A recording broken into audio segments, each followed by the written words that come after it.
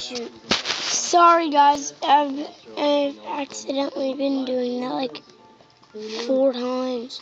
What are you gonna do with it? Can't say. It'll give you boldness. Huh? You're gonna take this. So, I thought I told you. We come in peace. Ouch! Oh, wow! First punch out? Feels good, doesn't it? Oh, yeah,